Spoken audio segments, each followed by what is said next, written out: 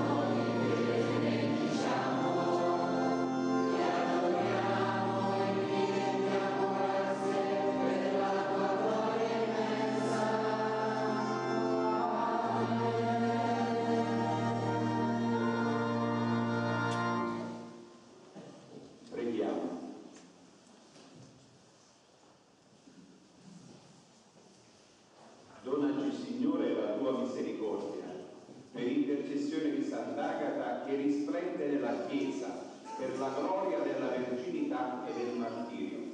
Per il nostro Signore Gesù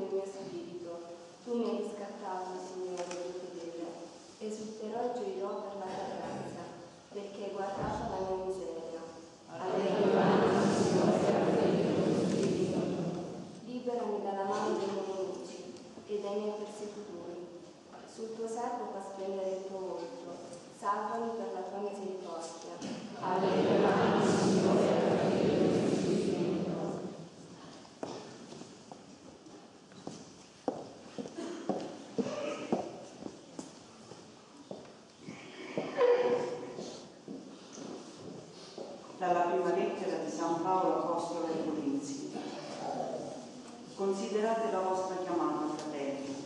Non ci sono fra voi molti sapienti dal punto di vista umano, né molti potenti né molti nobili, ma quello che è sotto per il mondo, Dio lo ha scelto per confondere i sapienti. Quello che è debole per il mondo, Dio l'ha scelto per confondere i forti.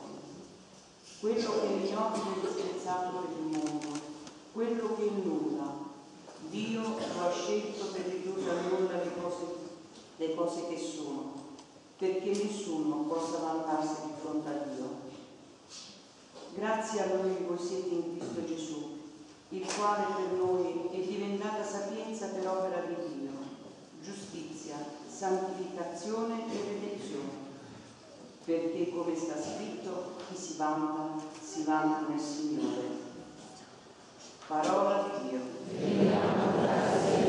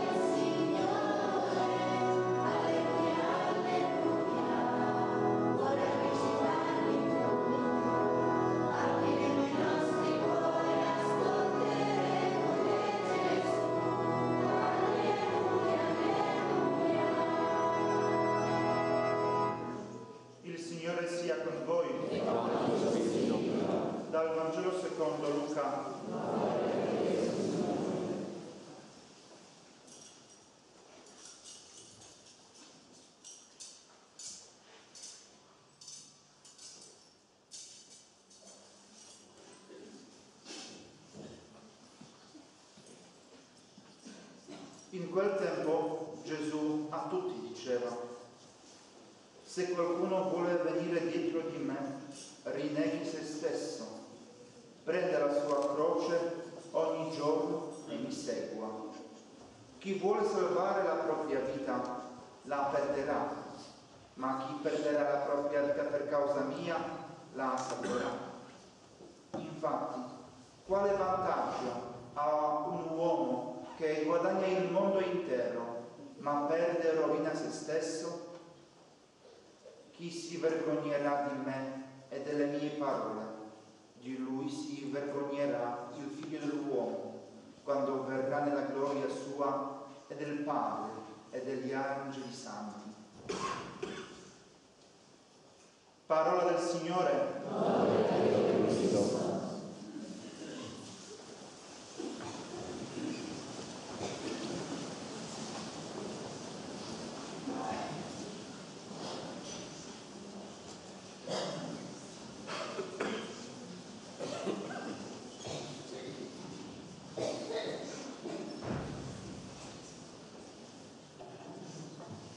Sia lodato Gesù Cristo.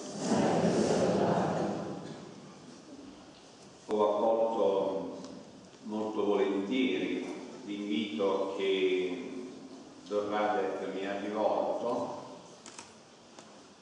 per presiedere questa celebrazione eucaristica, anche se non è la prima volta, sono, sono diverse. Allora, per certi aspetti mi sento un po', non voglio essere presuntuoso, perché quando si conoscono i volti, si sente un po' a casa sua, non, non proprio in piedi, però mi sento alquanto al mio agio. E allora ieri, in forza di questa sensazione, quando pensavo che cosa eh, dire ai fratelli di Sant'Agata, e ho provato a mettere giù qualche, qualche pensiero che cercherò di, di esporvi. Mi chiedevo qual è il senso, se c'è un senso, nella celebrazione di una solennità per una, eh, per una festa patronale una, eh, una santa del terzo secolo che un paese ricorda, ricordate la propria storia, a 18 secoli eh, di distanza. Che legame eh, può esprimere? Può essere solo venerazione, semplice ammirazione? Oppure eh, la, la venerazione deve tradursi nella vita concreta. Come può tradursi nella vita concreta questa, l'ammirazione per, per questa santa? Ogni santo, come ogni persona, ha de- delle sue note eh, caratteristiche, ha dei connotati, subito si distingue. Noi eh, veneriamo Sant'Agata, la Chiesa la venera così, vergine e martire. Allora mi chiedevo, nel 2013 ha ancora senso parlare di verginità per, per i ragazzi di oggi, per i, giovani, per i giovani di oggi? Visto che la sessualità, la corporeità si sciupa, si banalizza e in modo eh, molto precoce. Io non so Sant'Agata, ma si parla da 15 anni, 16 anni. Poi, eh, attenti, non si pensi che nei paesi è ancora tutto buono, tutto santo. Eh? Succede, eh, può succedere tutto anche a Sant'Agata. Allora eh, mi chiedevo, eh, il martirio cioè questa, questa fanciulla che ha dato la sua vita per testimoniare il suo amore a Cristo, ha preferito morire pur di non rinnegare il Signore Gesù, il suo sposo. Ma anche oggi, voi apprendete per televisione, ci sono i kamikaze, allora dando la vita per, per il proprio Dio. Vedete che il discorso è sempre, noi tante volte diciamo, ma questi sono fondamentalisti, va bene? Questi sono integralisti, non hanno la mentalità aperta e via, e via dicendo. Noi stiamo vivendo l'anno della fede. Allora il Papa ha detto chiaramente, se voi avete letto il documento eh, Porta Fidei, vabbè, eh, dice chiaramente che i santi hanno ragione d'essere e ce li presenta a partire dalla Vergine Maria, gli apostoli, i martiri, santi, poi parla di, di uomini e donne semplici della loro esistenza. Allora ha senso celebrare per noi cristiani la, la memoria, la festa, la solennità dei santi. Però nello stesso tempo io dicevo che non sembri una, che non risulti meglio una semplice ammirazione statica con un distacco dalla nostra vita completa, una forma di, di divorzio tra la vita di Sant'Agata e, e noi. Fino alla fine mi farei andare dal, dall'oculista ma bellezza qui io già mi ricordo più che altro.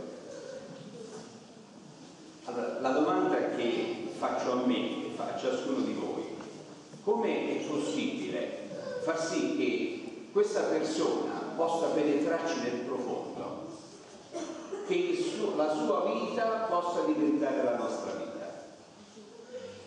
Leggendo il Vangelo, eh, tutto nasce da che cosa? Da un annuncio.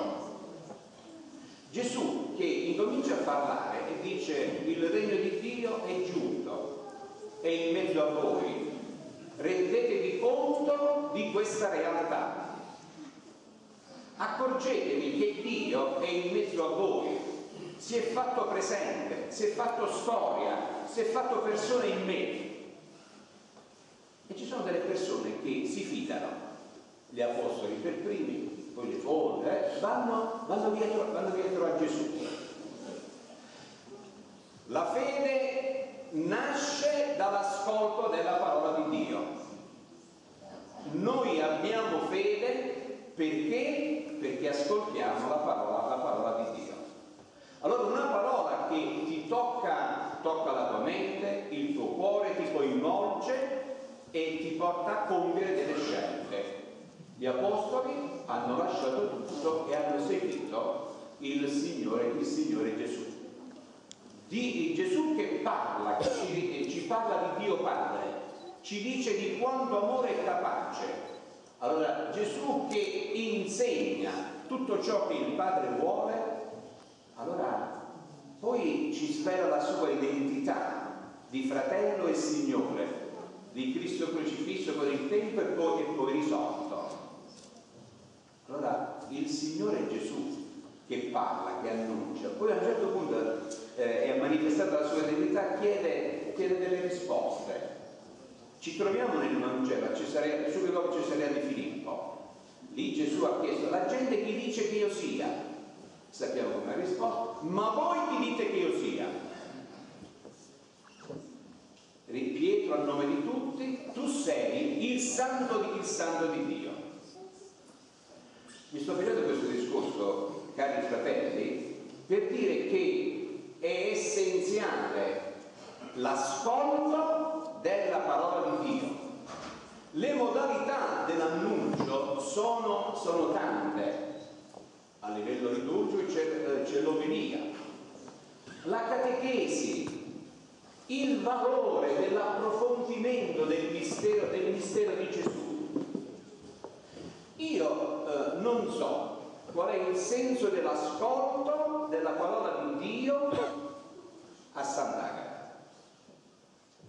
Una cosa però è certa, che se manca l'ascolto della parola di Dio, il desiderio di ascoltare il messaggio che Gesù è venuto ad annunciare, noi non penetriamo nel mistero di Dio, non comprenderemo mai il perché della scelta di Sant'Agata, non lo comprenderemo mai. Non so se quanti tra di noi si nutrono quotidianamente della parola di Dio. Perché quello che siamo chiamati a compiere è un cammino dietro a Gesù, un cammino graduale che ha bisogno realmente di questo cammino di essere nutrito, alimentato fondamentalmente dalla parola, dalla parola di Dio.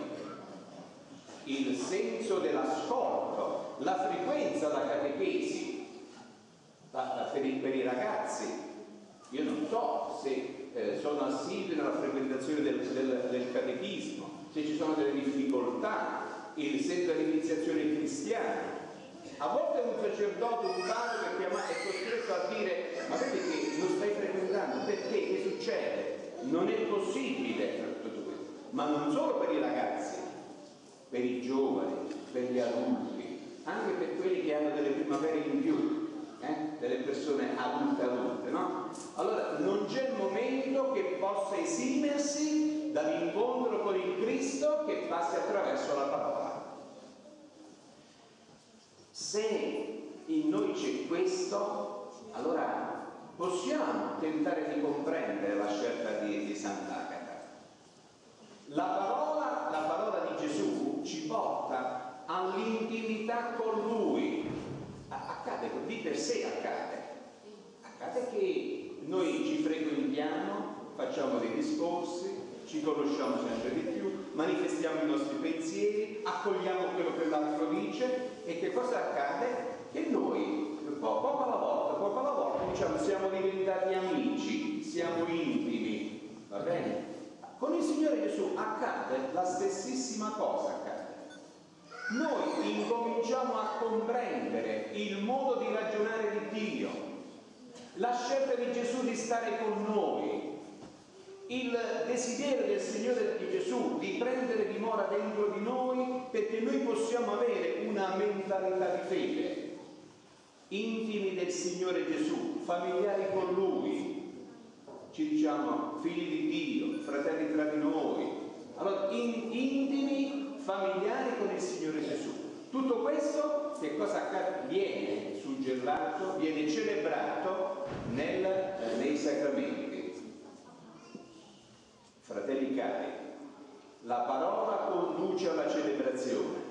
Senza la celebrazione dei sacramenti noi non comprenderemo mai il valore di quella, della presenza di Agata I sacramenti in genere, in modo particolare il sacramento della penitenza e il sacramento dell'Eucaristia. La penitenza è perché ti fa, ti fa toccare con mano, ti fa sperimentare come tu lavi le tue vesti nel sangue dell'agnello. Tu tocchi con mano il perdono che ti raggiunge nel tuo intimo, di questo perdono del Signore Gesù che ti rinnova, che ti dà speranza, che ti fa realmente gustare quella vita che solo il Cristo ti può donare, perché è l'unico che te l'ha, l'ha conquistata. Così pure la celebrazione delle, dell'Eucaristia, eh, ma realmente vissuta, vissuta in pienezza. Vogliamo augurarci che tutto questo eh, accade, perché se non accade Sant'Agata è un estraneo per noi. Un altro pensiero voglio eh, presentare per poter comprendere la valenza di una santa vergine martire. Il valore una, della comunità. Il cristianesimo non si vive da soli, noi non siamo navigatori solitari, ma si vive insieme. Dio che ci ha voluti salvare, che ci salva personalmente, non ci salva da soli, ma ci inserisce, ci ha inseriti in il popolo dei battezzati. Noi siamo il popolo di Dio e siamo un popolo non, eh, non i migliori, non, eh, nessuno si offenda, ce l'ha detto San Paolo, Beh, Dio nelle sue scelte dice così, non preferisce i migliori perché nessuno deve gloriarsi, ma sceglie i deboli, sceglie gli indifesi, se volete quelli che non, contano, che non contano. Perché? Perché deve prevalere in noi, in mezzo a noi, la sua, la sua presenza. È Lui il Salvatore. Non dobbiamo stare lì a lamentarci perché, perché ci riscopriamo deboli, perché ci, ci eh, scopriamo precari realmente, che abbiamo tante debolezze, tante, tante manchevolezze. Perché il Signore ci conosce. Poi una comunità di deboli è una cosa grande, ma se questa debolezza viene vissuta nel, nel, Signore, nel Signore Gesù. Non deve scandalizzarci il renderci conto che chi sta vicino a me non è migliore di me, ma è semplicemente come, come me. Nelle grandi città questi concetti possono anche sfuggire, nei paesi che non hanno molte migliaia di persone, allora si sta a stretto contatto di gomito e ognuno sa dell'altro chi è, che cosa fa, cose belle e cose, e cose meno belle. La stessa cosa accade pure nella Chiesa.